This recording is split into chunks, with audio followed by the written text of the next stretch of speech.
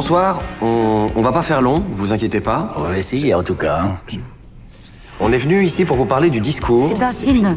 Non, maman. Bah, dis-leur que c'est un Non, mais je film. vais le dire. Donc, donc le discours, c'est un film sur. Non, techniquement, c'est un livre, mais là, c'est un film sur quelqu'un qui veut pas faire de discours, justement. Bah oui, parce qu'il aime pas les mariages. Ouais. Et il aime pas les poivrons non plus. Les, co- les concombres. Oui. Enfin, Non, bah non, moi pour moi c'est plutôt une histoire d'a- d'amour. Ouais, c'est bon. Bah, enfin, c'est l'histoire de quelqu'un qui attend un texto surtout. Et à la fin, Bah, si. on, on croit qu'il va y avoir un gâteau au yaourt. Et en fait, non. Non. Donc voilà, le discours, c'est c'est un film, euh, c'est une histoire d'amour C'est- sur un type oui. qui attend un texto et puis il veut pas faire de discours. Non, il veut donc, pas. parce qu'il aime pas les poivrons. Ouais, c'est oui. Et donc à la fin, Voilà. bah, il n'y a pas de gâteau yaourt. Y a pas de- Voilà. c'est ça. Bah, je ferme là, vraiment.